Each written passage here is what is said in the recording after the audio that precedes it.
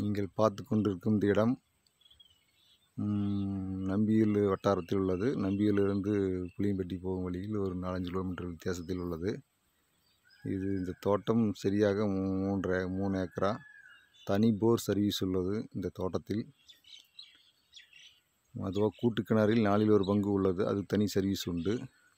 பூமி நல்லா செம்மண் கலந்த களிமண் பூமியாக உள்ளது.